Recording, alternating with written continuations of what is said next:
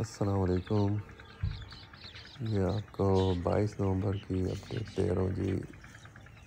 जो बेड पे हमने लूसन लगाया उसके बारे में। इसको अभी दूसरा पानी नहीं लगा। तो ये उसके बारे में अपडेट है। हम लोग, यानी कल इसको दूसरा पानी इंशाल्लाह लगाएँगे। तो ये इसका ड्यू हो गया है पानी। ये देखें अली अकबर साहब जो है उसकी प्रेपरेशन कर रहे हैं। ये यहाँ से जो है ना जी मेन खाले में जहाँ से पानी जाना है, उसकी ये प्रेपरेशन है। जहाँ तक हमारा वो शॉपर आ सकता है, वहाँ से उसके बाद जो है ये, वहाँ की प्रेपरेशन हो रही है। ताकि इसकी जो पानी जो लगाना है, उसकी स्मूथ सेलिंग हो।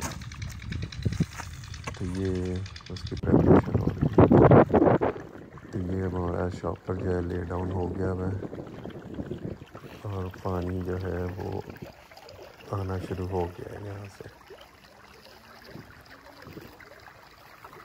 ये इसका जो ये मेन आर्टरी कह लें आप इसको। मेन आर्टरी से पानी जो है वो जा रहा है अभी। और जैसे ही ये एक ख़ास हाइट तक चला जाएगा तो फिर उसको उस हिसाब से हम खोलते जाएँगे। तो ये देखें पानी का जो चैनल है वो भरता जा रहा है।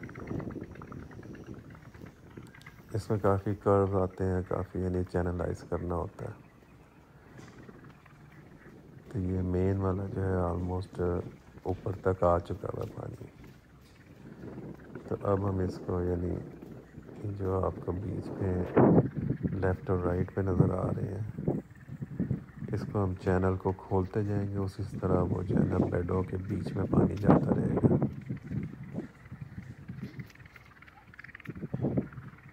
जैसे अगर यहाँ से खोलेंगे तो पानी जो है उस चैनल से जाना शुरू हो जाएगा।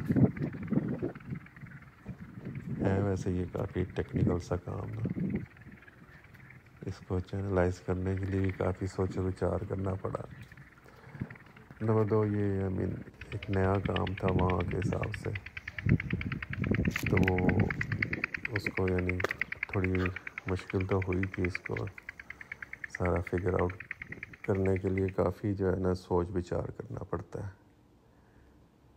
अब ये देखें यहाँ से हम लोग इसको जो है वो खोलना शुरू कर देंगे ताकि हर चैनल में, हर बेड पे पानी चला जाए।